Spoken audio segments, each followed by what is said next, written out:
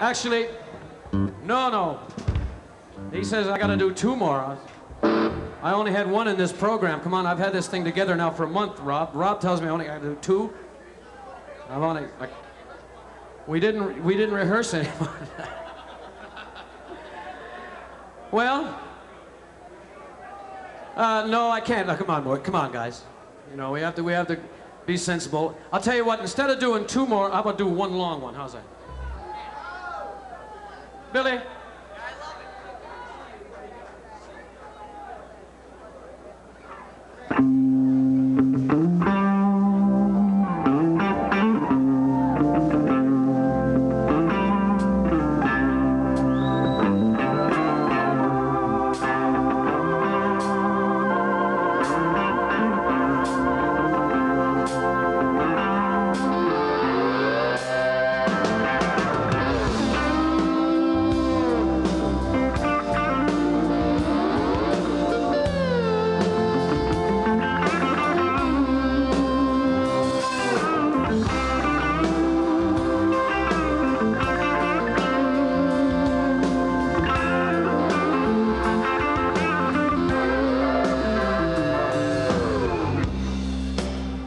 This is definitely a song all about loneliness. And you know, there's so many different kinds of loneliness in this world.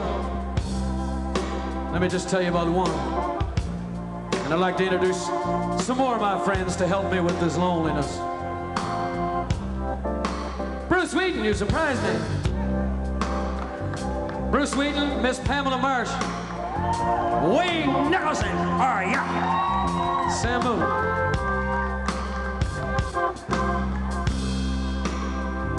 You know, sometimes a young man, let's say he's from Cape Breton, Nova Scotia,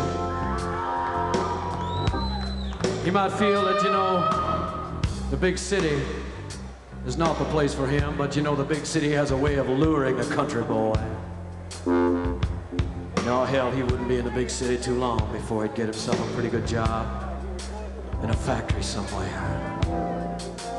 Might even work himself up to be foreman someday, you can never tell. But you know that still don't help his loneliness. A young man like that need to find himself a good woman. Oh hell, he find a woman all right. Some of them big city slicking girls, they might like the way a maritime country boy treat them. With a little respect, perhaps. They get themselves an apartment downtown high rise, 25th floor. Apartment 2509. And they live real well there for quite some time. He'd be bringing home the good bucks. Maybe a whole year passed by and he'd be walking home late one night after working a double shift. And he'd step off the elevator on the 25th floor and make that long, anxious walk down that short corridor. But thinking everything was just like it was before, he'd open up the apartment door and that's when he'd see it, that note, and uh, you know the kind of note I'm talking about, too. Say something like, uh, Dear John, I'm gone. A young man like that, hell, he'd have his whole damn world fall right down in front of his face and crumble at his feet on the floor. Find himself at 4 o'clock in the early morning down at the nearest Canadian National Railway station that doesn't even come down to Cape Breton anymore. Hell, he don't want to go back home yet. Because let me tell you, son of a maritime country boys, and the same holds true for maritime country girls, they don't like to go home a failure. You know what I mean?